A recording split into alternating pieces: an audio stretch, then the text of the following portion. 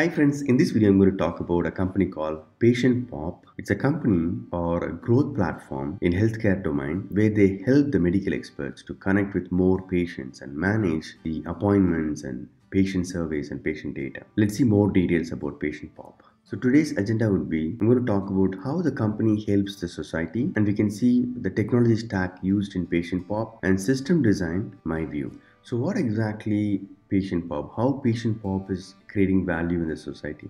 Say if you are a medical expert and you want to connect with more patients and help them, then you can join Patient Pop. They help you to attract more patients. So you don't have to do the marketing on your own. So you can connect with the growth platform, Patient Pop they will help you to increase the visibility in the market by using search engine optimization SEO. So using the surveys from the patients, you can manage your reputation and you can have a modernized patient experience. For example, they can compare between two different medical experts and they can also book an appointment if they are interested in and you can also automate your front office. You don't have to do it manually. They have products where you can automate your front office. Let's see some numbers. There are 4 billion Google impressions. That means like their visibility is really high. This is something related to SEO, search engine optimization. And there are 44 million appointment requests. So that means like really the, the, visibility is really high. So if you are a medical expert and if you join this growth platform your visibility might also grow eventually. Let's see some of the patient pop products. So one of them is seo search engine optimization. Is very important because they are a growth platform. So visibility is very important. So in order to increase the visibility we need search engine optimization.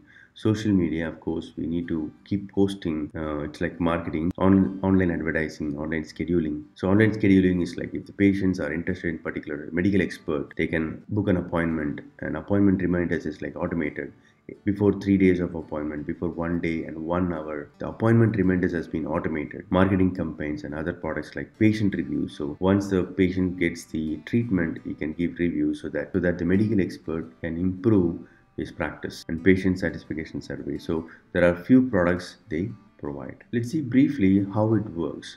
So patients uh, search and then they consider a particular medical expert and then they start up and they are interested. They book an appointment and the treatment happens and post post appointment activities will happen. And advocacy means like support like after the treatment is done if there is any additional support required it can be given. This is a high level picture for patient journey. Now let's see the technology stack used to build this patient pop application so looks like they're using python 3 node and it's been deployed to aws infrastructure. Flask it's a web framework in python and django is also a python web framework. Vue is a javascript framework. And let's see the database database Postgres, Elasticsearch, DynamoDB, and Redis. So Postgres is relation database, Elasticsearch is NoSQL, and DynamoDB is NoSQL, and Redis is a cache. Kinesis is for processing stream of events. SQS is like queue for processing events in an asynchronous way. SNS is for notification. Looks like these are the technologies they are using to build this application. So I'm going to share my view about the system design for patient pop application. There are three different user groups I could see patients and the medical experts and admin. So admin is like we're going to configure the application and patients are the users who are going to search and enter into the system and medical experts are who are going to help